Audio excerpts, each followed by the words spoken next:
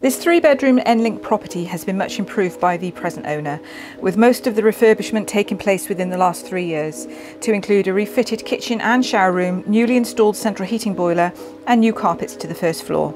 The property is located on the outskirts of the town centre, but still within walking distance of both primary and secondary schooling and the amenities of the town, which include shopping and leisure facilities, a range of pubs and restaurants, plus doctor and dental surgeries. The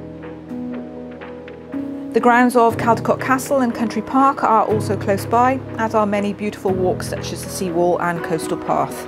For those wishing to commute, there is an access to the M4 motorway network on the outskirts of the neighbouring town of Chepstow and also at Magor. There is a rail station at Caldicot and main line at Severn Tunnel Junction just a few miles away.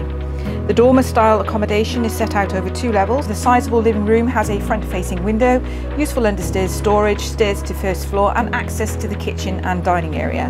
Located just off the entrance area is the cloakroom which is fitted with a modern two-piece suite.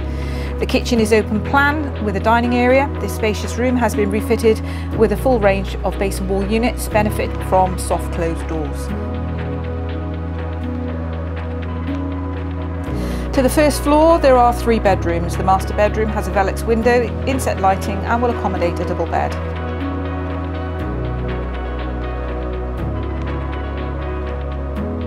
Bedroom 2 has a rear facing window and will also house a double bed, whilst bedroom 3 is a single room and has a rear facing window with garden views.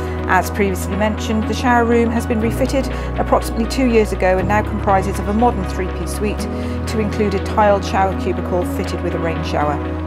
Stepping outside, the driveway gives access to the property which is located at the end of the small development.